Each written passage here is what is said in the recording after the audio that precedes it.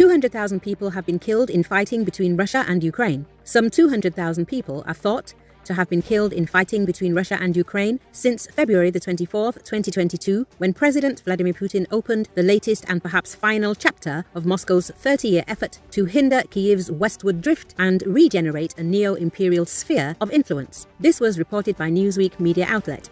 It is noted that Kyiv has been able to liberate around 50% of the territory seized by Kremlin forces since February 2022 and has its eyes set on Crimea and the area of the Donbas region occupied since 2024.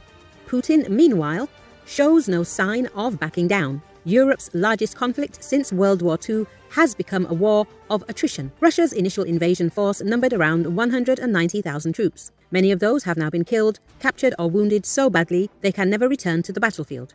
Pentagon documents leaked earlier this year estimated 189,500 to 223,000 Russian casualties as of February, including as many as 43,000 killed. Russia's armed forces now have around 1.3 million troops, with a goal to expand this to 1.5 million by 2026.